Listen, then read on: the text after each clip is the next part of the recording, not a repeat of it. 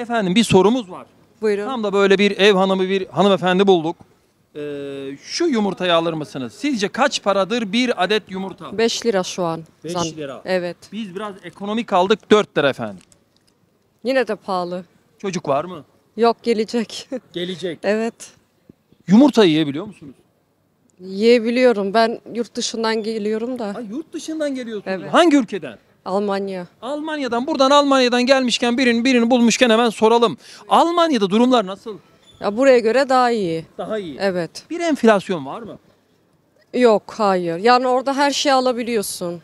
Alabiliyorsun. Burada çok kötü oldu ekonomi. Görüyoruz Almanya'da yani. çocuğunun kırtasiye malzemesini alamayan anneler var mı? Yok. Allah Devlet yardım ediyor. Devlet yardım Evet. Çocuk- Kesinlikle. Almanya'da hangi kentte oturuyorsun? Stuttgart tarafı. Stuttgart. Evet. Bana başka bir kent ismi söyleyin. Münih. Münih. Münih. Ne iş yapıyorsunuz? Ben şu an evdeyim. Hamile olduğum için Eşiniz çalışıyor mu? eşim çalışıyor. Ne kadar para alıyor? Eşim şu an Türkiye'de daha orada oraya gelmedi. Tamam şöyle soralım. Almanya'da asgari ücret alsanız Stuttgart'tan kalkıp Münih'e ziyarete gidebilir misiniz? Gidebilirim. Oradaki akrabanızı ziyaret edebilir misiniz? Evet edebilirim. Peki burada bir asgari ücretli Sivas'tan kalkıp İstanbul'a gelebilir mi? Mümkün değil şu an. Mümkün değil. Bana deyin ki Almanya'da şu durum çok iyi, Türkiye'de bu durum çok berbat. Bir örnek verin. Ya Türkiye'de şu an durumlar bayağı kötü maalesef. Biz kaç haftadır buradayız? 3 hafta. Yani para dayanmıyor burada. İnsanlar nasıl geçiniyor biz hayret ediyoruz. Euro bozduruyorsunuz. Euro bozuyoruz ama euro da dayanmıyor. O kadar çok pahalı ki her şey. Evet. Hanımefendi kim? Annem. Buyurun lütfen. Lütfen siz de gelin. Lütfen. siz de mi Almanya'dan geliyorsunuz? Ben de Almanya'da geliyorum evet. Yani siz hanımefendiye göre daha tecrübeli olduğunuz için sizin pencerenizden nasıl görünüyor durumlar burada? Burada bence e, yani enflasyon çökmüş bir durumdadır. Ben insanların nasıl geçindiğini ben hayret ediyorum gerçekten. Çok pahalı her şey. Yani bize göre bak biz euro ile geldiğimize göre çok pahalı geliyor bize. 3 haftadır buradasınız. Evet. 3 haftada anne kız kaç euro harcadınız? Oh hesapla. Euro harcadın. 500 euro. Evet. Siz Ben de 500 liraya yakın harcadım. 1000 euro 30 bin TL. Evet. 3 Toplam. haftada 30 bin TL. Üç haftada ama tabii ki hepsi yiyeceği falan gitmedi. Giyim falan da aldık. Kıyafet fiyatları nasıl Türkiye'de? aşırı derecede pahalı. Evet. Aşırı derecede pahalıdır. Yani ben hesap e, bu asgari ücretlerin hesabını yaptığım zaman gelir gideri karşılamıyor. Gelir giderin çok çok altında. Bunu görüyorum sadece. Ben burada yaşamadığım için ben buradaki insanların yerine de konuşmak. Ama bir vatandaş olarak kendimi buradaki insanların yerine koyduğum zaman hayret ediyorum. Evet. Ve bazen insanlar diyor ki biz Avrupa Almanya'da gelenler diyor ki ya da yurt dışında diyor ki biz orada açız sürünüyoruz. Bir, hepsi yalan. Almanya'da bir kişi eğer çalışır 1500 euronun 3 3 yani 4 kişilik bir aile sadece mutfak harçlığı 1500 eurodan aşağı olursa devlet yardım ediyor. Kirasını ödüyor, faturasını ödüyor. Evet. Ee, Benim kızım şu anda devletten geçiniyor.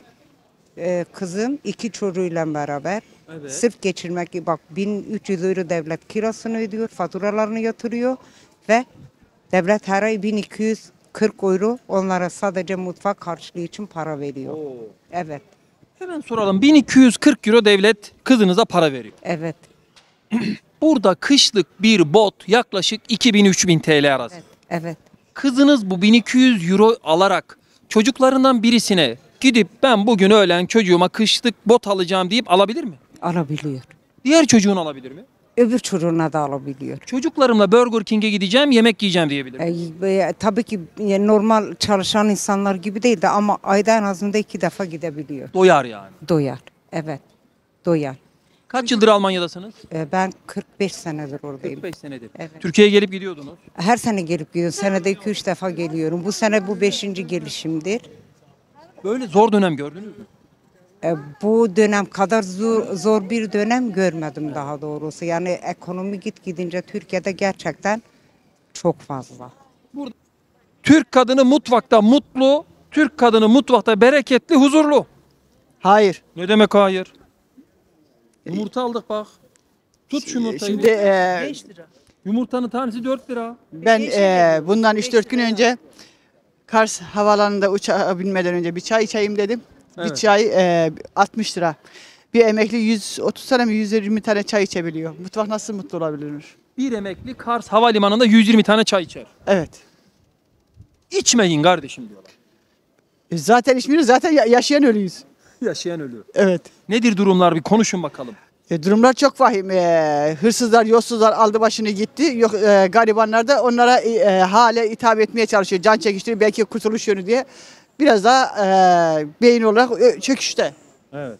Genç nesil zaten ülkeyi terk etmiş durumda. Mutfakta haller nasıl? Evde huzur var mı? Komşuluk var E, mı? c- e, şimdi e, cinayetler, kavgalar, mahkemeler, boşanmalar çok arttı. Çünkü e, erkek eve ekmek getiremeyince, mutfakta aşk kaynamayınca ne olacak? Şiddet e, maruzu ve cinayetler, boşanmalar. Çocukların yurtlarda e, dönüşmesi, yurtlarda kalmasıdır. Başka ne olabilir? Evet. Eyvallah. Var mı başka sorumuz? Başka sorumuz yok. Sen konuşmak istiyorsan konuş. Yüreğinize sağlık. Eyvallah. Hayırlı çalışmalar diliyorum. Ben o zaman bizim çekimimiz bitti. Bu bizi, yumurta bize çekim esnasında lazımdı. Ben bu yumurtayı Türk kadınına armağan ediyorum. Buyurun teyzeciğim. Benim için pişirin. İsterseniz yani saklayın. Numune olarak saklayacağım Aa, bu röportajı. aa, yumurta deyip geçme. Bugün 4 lira, yarın 8 lira. Eyvallah. 4 Yüreğinize lira sağlık. karıyla satarsın. Bu sistemin değişmesi gerektiğini düşünüyorum. %100 değişmeli sistem. Değişmeli dedik. Diyenler oldu 28 Mayıs'ta. Olmadı. Şimdi e, dünyada en büyük yokluk cehalettir. Cehaletten değişmemiştir. Başka neden olabilir? Makarnadan burgulura geleceğini satan insanlardan dolayı değişmemiştir. Makarna yedikçe zekamıza faydası olur mu? E, aptallaştırır. Aptallaştırır diyoruz. Allah Allah. Eyvallah teyzeciğim kendine iyi bak. Sağ ol. Merhabalar. Aleyküm. Aleykümselam. Nasılsın? Sö- Söz mü? Söz yayınlayacağım. Kesmeden. Bu, buyur sorun bakayım ne sorun. Sen söyle bakalım ne diyeceksin? Vallahi hiçbir şey iyiye gitmiyor. Evet. İyiye giden diyenlerin teknesi iyi gidiyor. Yandaşların, mandaşların şeyi çok güzel gidiyor. Oh. Onlar iyi diyor.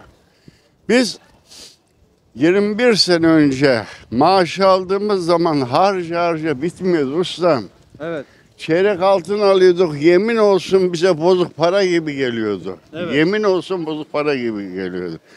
Hanımlar altın günü yapıyordu. Bizler erkekler de mark mırk döviz günü yapardık. Evet. Para bitmezdi. Paranın bereketi var. Ben 10.700 lira maaş alıyorum. Şu anda. Şu anda benim resmi yerden emekliyim.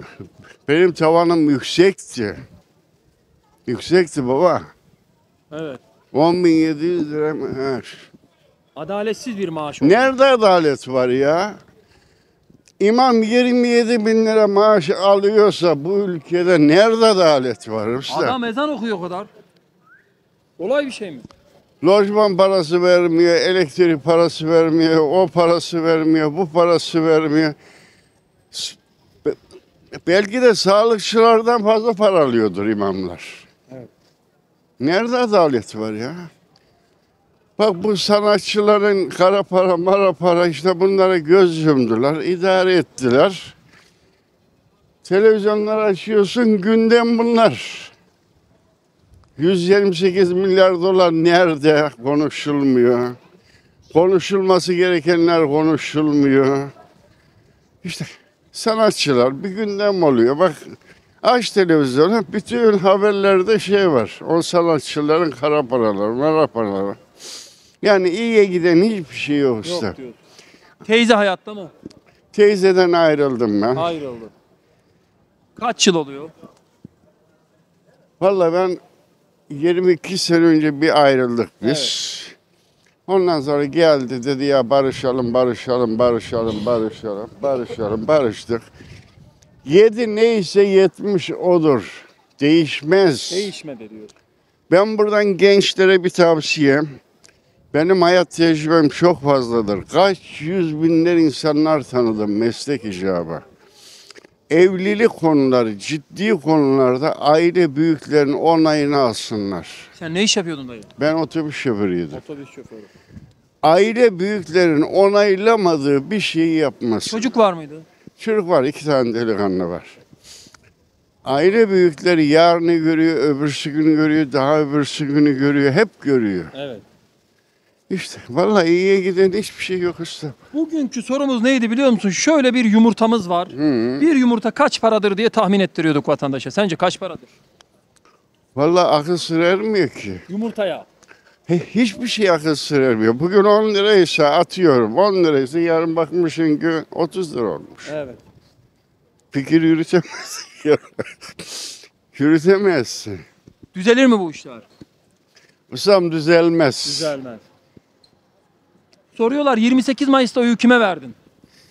Vallahi ben AKP'ye oy vermedim. Hiçbir zaman da vermem. Evet. Vermezsin. Ben bir sefer Erdoğan'ın belediye başkanlığı şeyinde verdim. Ona bin bir pişman oldum. Bir sefer Erdoğan'a o belediye başkanı kazansın diye oy verdim. Bin bir pişman oldum. Ben AKP'ye oy vermem. Eyvallah. Dayıcığım kendine iyi bak. Yayınlayacağım seni. Söz mü? Söz ya. Vallahi mi? Vallahi bak. Peki ben nasıl izleyebilirim bunu? Facebook'tan izlersin. Sana en yakın Facebook. Tamam. Tamam mı?